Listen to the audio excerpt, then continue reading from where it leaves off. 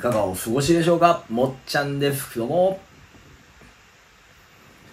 ね、えー、散々サムネで釣るっていうね、誰も知らない岡田応援歌の秘密2点ということで、本当かよと。本当かよと。本当でございます、今回は。っていうぐらいちょっとね、自信がある、誰も知らないであろう、あの、秘密をね、2点、ちょっとお話しできればと思いますので、岡田応援歌は今回優勝した際にね、えー、演奏されてちょっとニュースにもなったりして話題になったので、今回取り上げていきたいと思っております。でまず、岡田コンバットマーチとはっていうところから、まあ皆さん知ってると思うんですけれども、原曲はあの、早稲田のあれでございます。えー、岡田さんが、まあ、早稲田出身だから、えー、まあ、早稲田のあの、コンバットマーチを使って応援歌になりましたよというところですね。で、まあ、歌詞によって、えー歌詞が場面に、うん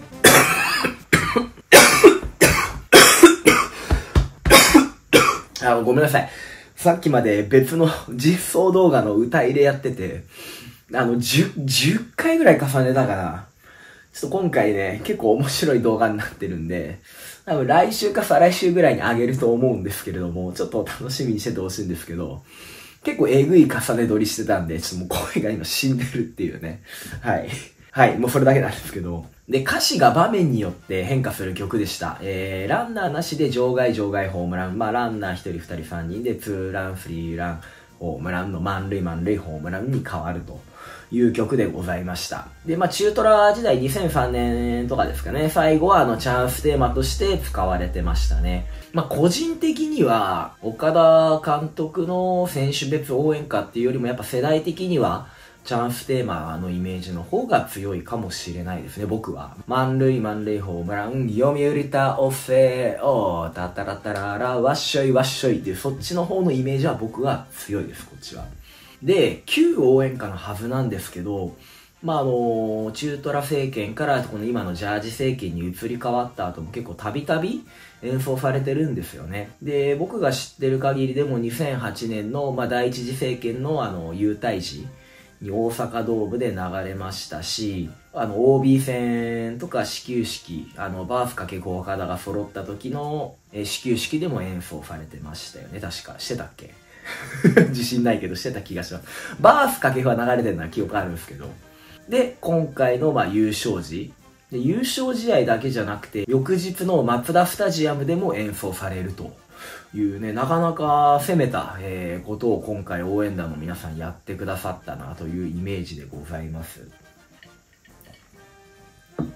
で、冒頭にもちょっとお話ししたんですけれども、今回の演奏やっぱりね、あの話題になってました。ヤフーのトップにも一瞬なったんですよ。あの、日刊スポーツさんが取り上げてて、まあ、現役コンバットマーチが流れると。で、やっぱ名曲だったり、チャンステーマで採用って、チャンステーマで採用って何も事情知らんやろ、こいつはボケと思ったんですけど。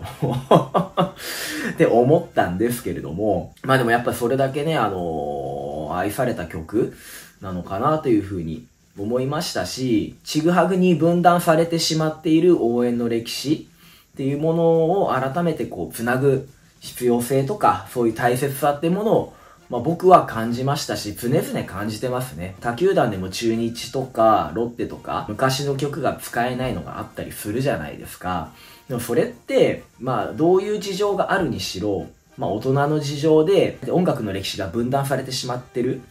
そこにやっぱ違和感を覚える人って多いですし、前回の動画でも話したんですけれども、曲に罪はないわけなんで、そこの歴史っていうのは繋げていけたら、まあこれ以上のことはないなというのは僕自身は非常に感じていることです。で、ここがポイントですよね。なぜ今回岡田マーチ、まあ今回に限らず岡田マーチを演奏できているのかというところ。皆さん多分気になる点はここだと思うんですよ。球団は許可してるのか？で、まあ一番突っ込みたいのは、それならば普段から演奏できるやんけと。旧応援歌が演奏できると証明した以上、他の曲も採用しろやと。まあ皆さん突っ込みたいところは大体ここだと思うんですよ。ただね、まあ応援団にね、こういう風に言いたい気持ちはわかりますよ。わかりますけれども、そんなこと言っちゃいけません、皆さん。で、なぜかというと、まあ、今回の演奏しかり、おまあ、あの、OB 戦はちょっとわか、まあ、球団多分許可してるんでしょうけど、あの2008年の優待時しかり、若干無茶をしながらもなん、なんとかできないかっていうところで応援団が演奏したっていうのが真意だと思っております。っていうのも、思っておりますというのは、僕自身はその現場に立ち会ってないので、どういういきさつでこの曲が流れる経緯になったかってところは、詳しい事情は僕知らないんですよ、実は。ただもうここを、粋って書いてますけど、僕はこれを粋ではなくて、意地って呼んでるんですけれども、でもやっぱりファンの方々も、まあすごいこれを演奏することで盛り上がってるし、まあそういういい場面、優勝であったりとか、あの、球団に貢献した岡田監督だからっていうところで、まあ、ね、普段使いはさすがにあれだけれども、この場面ぐらいは、あの、いいんじゃないのってことで、球団もそこはやっぱ黙認してくれてるのかなっていうのが、まあなぜ演奏できてるかの真意だと思います。まあ9割方これが真意だと思っていただいて結構です。まあ、あの、どういうね、また劇かはちょっとお話できないんですけれども、そういうところですね。というところで、まず、えー、岡田マーチの秘密1点目、なぜ、えー、岡田マーチを演奏できたかというところの理由。まあ、応援団が若干無茶をしてでもなんとか繋げてくれた歴史、応援団の意地ですよね、ここは。で、それに対して答えてくれた、まあ、粋な球団の、えー、関係者の皆様。この関係性が成り立って初めてできているものだと思います。まあ、だから普段からは、まあ、難しい、普段使いは難しいのかもしれないですよ。ただ、少しずつ、まあ、こういう風にあの、全くできないというところからちょっとずつ、できるようになったりっていうところも、まあ少しずつこう変えていくっていうところでも我々ファンがこうニュースに取り上げてもらえたように声を上げていくことが非常に大事なのかなというふうに思うので、まあ我々の方からぜひね、いずれ、まあ何年かかる、何十年かかるかわかんないですよ。でも、いずれ旧応援歌と新応援歌にこう線引きなく、あの、流用ができたりとか、いい曲はいい曲っていう風にこうね、取り上げてもらえるような世界ができたらいいなとはえー、僕は個人的に思っております。はい。で、2点目に入りたいと思いますが、まあ、今ここまで、旧応援歌は、あの、難しいっていう話はしてきたじゃないですか。ということは、旧応援歌を使えないんだったら、新しく作っちまえばいいじゃないかという発想がありました。ということで、まずこちらをお聞きください。どうぞ。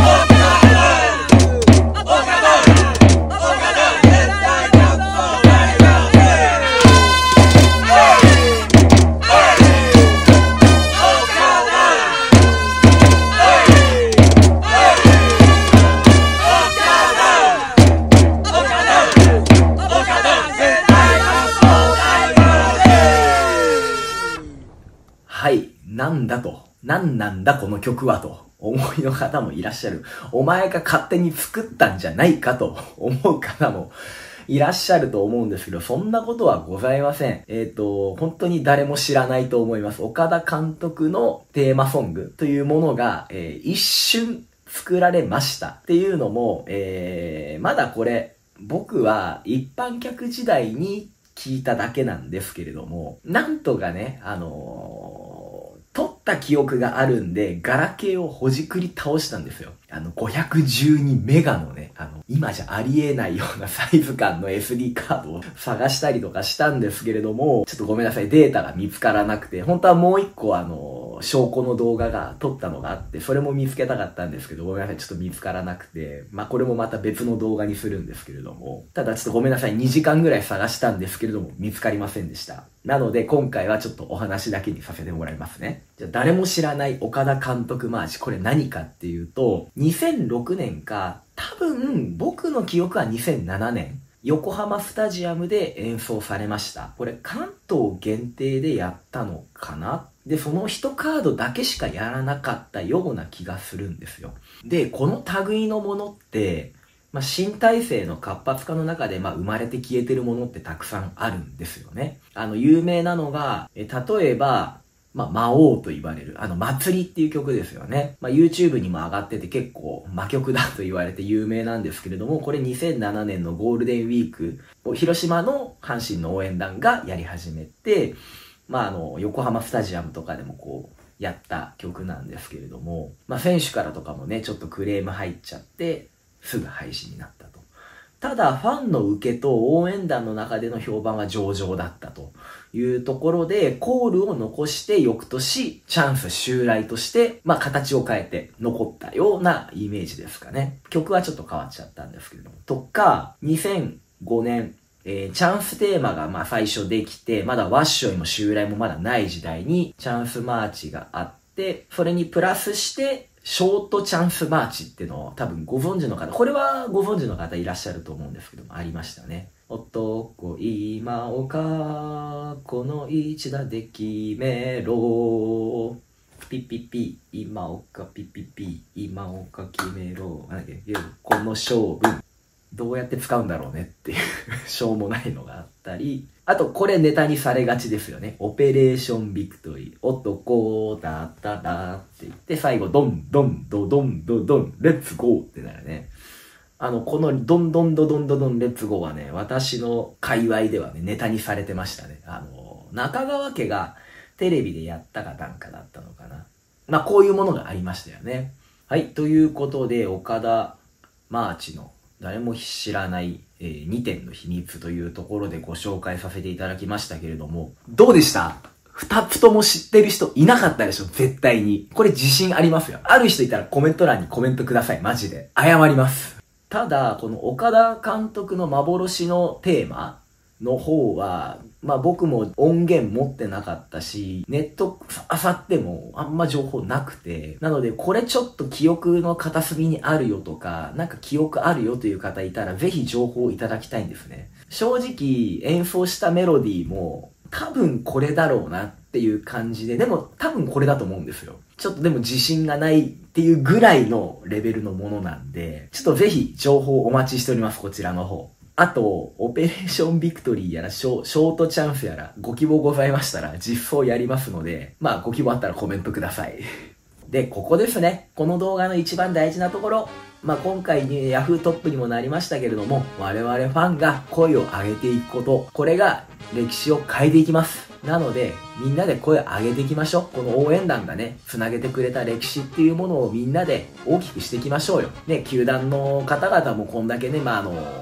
寛大になってきた、まあね、2005年からかれこれもう18年経つじゃないですか。この優勝と同じ時間なんですよ。だからね、少しずつ変えていきましょうよ、みんなでね。阪神の応援がより良いものになってほしいなというのがもう純粋な気持ちです、私。もうこれね、嘘偽り綺麗事言ってません。だってそうじゃないですか。やっぱ応援文化ってもっといいものになってほしいし、歴史って繋がってほしいし、だからそこはみんなで声上げていけば、その声が大きくなればなるほど、世論って大きくなればなるほど、動かざる得なくなるのが資本社会ですから まあこんな感じでございますね。というところで、この動画は今回は終わりにしたいと思います。これからも応援団の裏話であったり、あとは演奏動画、あとはね、最近やってないけど DJ とかもね、たまにやったりとか、